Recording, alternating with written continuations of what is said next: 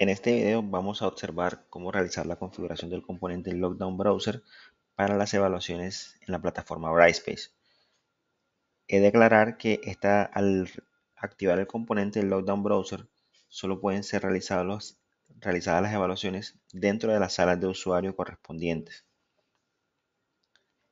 Para iniciar este proceso vamos a dirigirnos a evaluaciones, cuestionarios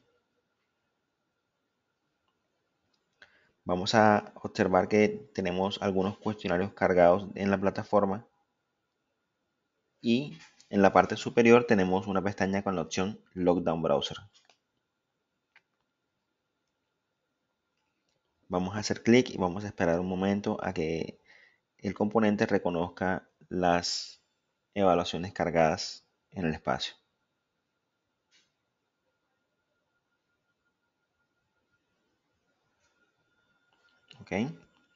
Al momento de cargar ya las evaluaciones, vamos a darle clic en la flechita hacia abajo a la evaluación a la cual queremos habilitarle el componente del Lockdown Browser.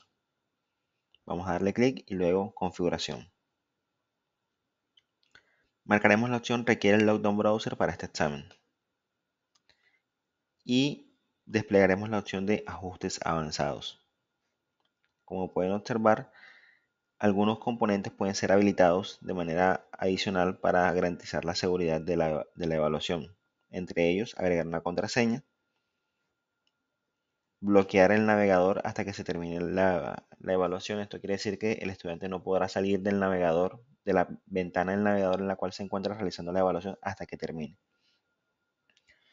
Y se pueden habilitar eh, opciones como la calculadora dependiendo de la asignatura si desean utilizar una calculadora estándar o una calculadora científica. Con estos componentes eh, ya podemos darle clic a la opción guardar y cerrar.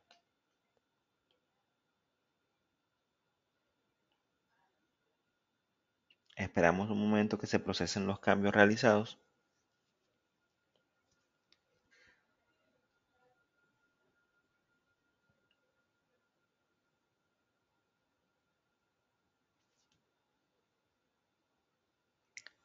Y miren que automáticamente el nombre de la evaluación ha cambiado, se le ha agregado requiere Respondus, Respondus Lockdown Browser. Si nos dirigimos nuevamente a las evaluaciones, veremos que el nombre ha cambiado.